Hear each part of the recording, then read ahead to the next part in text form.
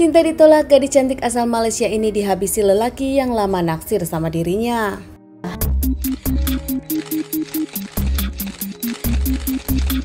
Nur Suhada Johari berusia 20 tahun tinggal dengan keluarganya di daerah Kedah, Malaysia. Dirinya sendiri adalah anak kedua dari enam bersaudara. Di mata keluarganya, Nur Suhada ini adalah anak yang manis, tak pernah cari masalah, bahkan dikenal bekerja keras, pintar juga. Para keluarga pun memuji kalau dirinya memang tak pernah aneh-aneh dalam kehidupan sehari-hari. Sebagai mahasiswa semester 2 Nur Sahada pun punya banyak teman. Usai kuliah bahkan sering nongkrong bersama teman-temannya. Nur Sahada pun sama seperti anak-anak umum pada lainnya, tidak pendiam namun tidak juga dirinya bermasalah. Nur Sahada nongkrong dengan teman-teman sehingga satu hari dirinya berkenalan dengan seorang laki-laki yang ternyata rumahnya tak jauh dari rumah Nur Sahada.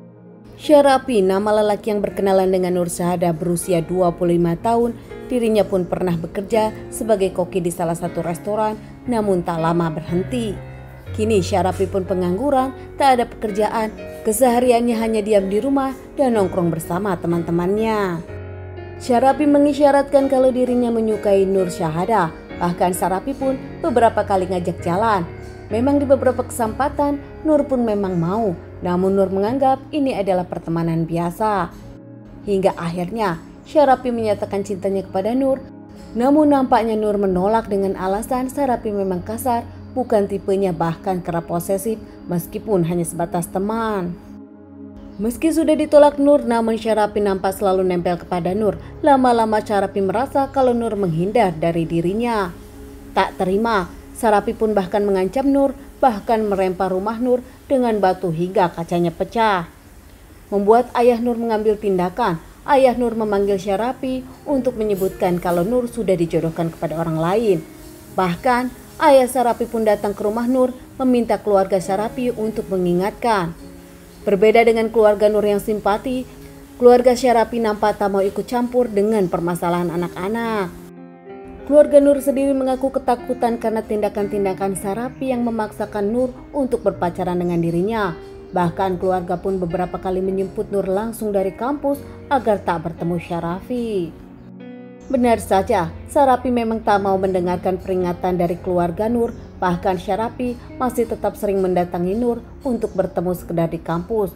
Nur sendiri memang sedang menghindar, namun lama-lama Nur merasa mungkin baik-baik saja kalau berteman.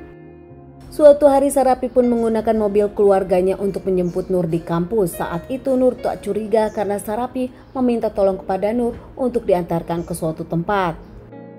Namun ternyata di mobil Sarapi masih mengungkit tentang masalah percintaan, ingin menjadi pacar Nur, dan Nur pun kembali menolak.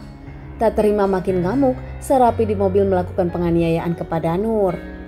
Bahkan Sarapi pun mengeluarkan senjata tajam menusuk Nur beberapa kali di lehernya hingga Nur pun lari keluar dari mobilnya.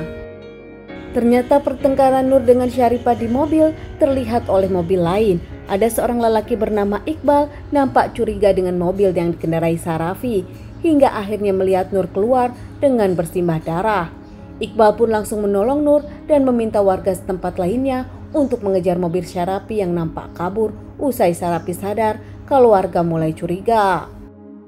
Kondisi Nur yang memprihatinkan langsung dibawa ke rumah sakit untuk mendapatkan pertolongan. Namun nampaknya sayang, Nur tak tertolong. Nur menghembuskan napas saat perjalanan menuju rumah sakit.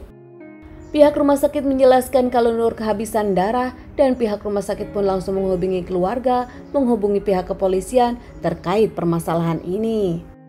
Keluarga Nur membawa Nur ke rumah dan langsung dimakamkan di pemakaman terakhir pemakaman tempat keluarga besar Nur. Keluarga meminta pelaku dihukum seberat-beratnya, keluarga kecewa. Keluarga Nur mengaku tak menyangka Nur secepat ini berpulang hingga merasa kehilangan Nur untuk selamanya. Sementara di tempat kejadian perkara, Syarapi pun langsung dikepung warga dan langsung diamankan. Sempat mendapat perlakuan tak menyenangkan dari warga, namun Syarapi langsung dikembalikan kepada pihak kepolisian. Syarapi diadili di Malaysia langsung diponis dengan hukuman mati. Keluarga Nur nampak puas dengan semua perbuatan Syarapi kepada Nur. Keluarga Syarapi sempat meminta maaf kepada keluarga Nur, namun semua nampak tak bisa diperbaiki lagi. Teman-teman sekian dulu bahasan kasus kita kali ini. Semoga kasus yang aku bawakan ini bisa dijadikan pelajaran untuk kehidupan kita. Ditunggu kasus-kasus selanjutnya.